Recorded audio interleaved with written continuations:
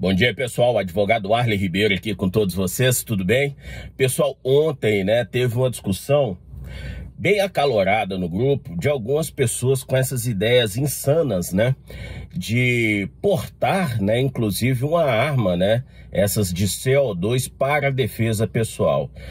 É, é uma coisa que está sendo veiculada, inclusive, né, em canais do Instagram, né, pessoas vendendo essas armas como se elas se prestassem, né, para o objetivo de defesa pessoal, o que eu acho uma questão insana, né, e desarrazoada.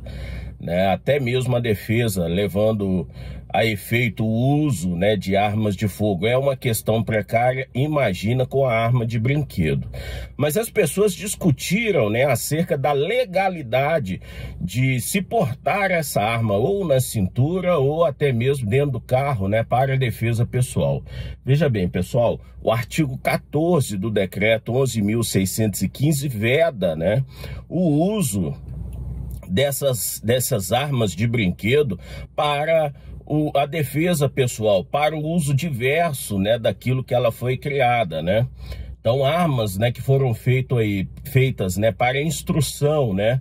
E, e outros fins, não pode ter a sua é, finalidade deturpada, ou seja, usada na condição de defesa pessoal, né? principalmente portando essa arma na cintura.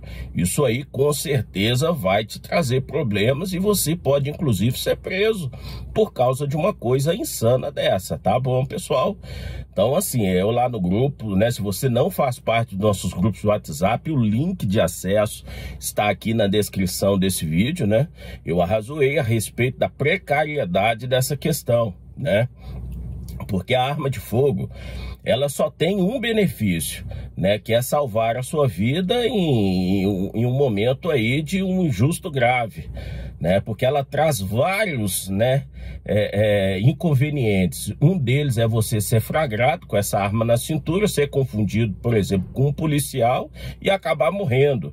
Ou, né, algum mala, algum peba, né, perceber o volume na sua cintura e realmente querer captar essa arma de você. Então a única vantagem que ela tem é um meio é de ser um meio eficaz na legítima defesa.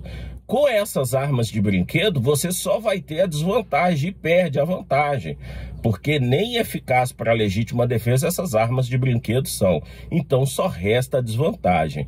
Ou você vai ser confundido com um policial e vai morrer, ou algum bandido vai querer captar né, esse brinquedo achando se tratar de uma arma de verdade e você também pode terminar morrendo. Então larga, pessoal, essas questões são insanas, né? Larga de burrice. Gente burro morre cedo, né? E com arma de fogo a gente não brinca. Tá? Essas questões são questões sérias e deve ser tratado com a devida seriedade.